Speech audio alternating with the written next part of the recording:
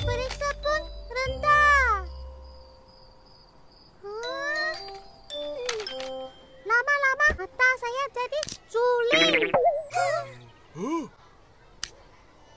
Mama saya kata, ini mesti ada masalah mata.